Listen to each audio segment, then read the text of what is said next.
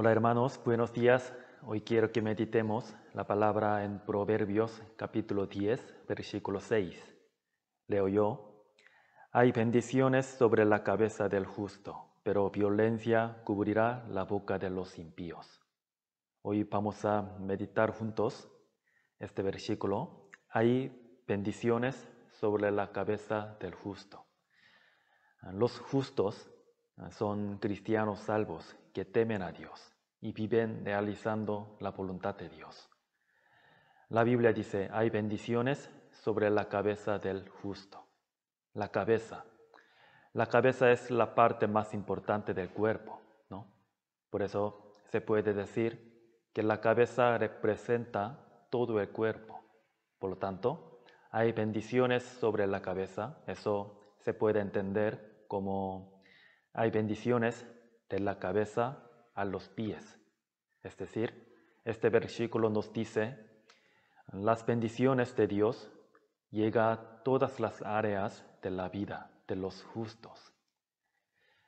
Mm, en este mundo, la gente considera una bendición tener una gran riqueza o vivir en prosperidad y comodidad y disfrutar de lo que quieren. La gente lo ve como una bendición. Sin embargo, estas cosas son físicas y materiales y están limitadas a este mundo. Ah, como saben ustedes, las cosas que tenemos y disfrutamos en este mundo no son para siempre. Finalmente desaparecerán. Por lo tanto, esas cosas no, no pueden ser una verdadera bendición. Entonces, ¿qué significa este versículo?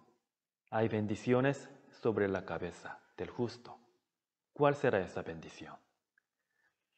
Mm, por supuesto, en la Biblia se mencionan las bendiciones en esta tierra, las bendiciones materiales que recibirán los que temen a Dios. Pero, pero esa no es la bendición final que Dios quiere dar. Las bendiciones en esta tierra son temporales y secundarias hay bendiciones espirituales y eternas.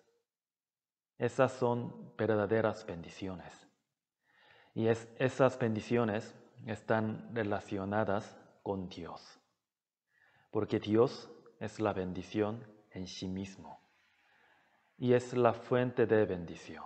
Por lo tanto, es, cierto que las bendiciones llegan a aquellos que están conectados con Dios.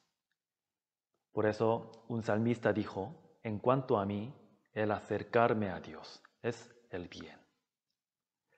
Ah, sobre todo, es la mayor bendición que seamos salvos del castigo del pecado a través de la sangre de Cristo y seamos hijos de Dios. Además, el Hijo de Dios tiene gloria y herencia en el cielo. Esta es una bendición eterna y espiritual y que tenemos vida eterna en Cristo y que Dios camina con nosotros y obra a través de nosotros en esta tierra, eso es una verdadera bendición.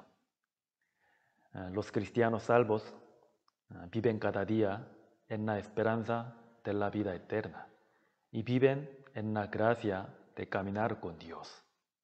Entonces, si recordamos y sentimos estas grandes bendiciones, eh, podremos vivir más limpios, más diligentes y fieles y agradecidos en este día, ¿verdad?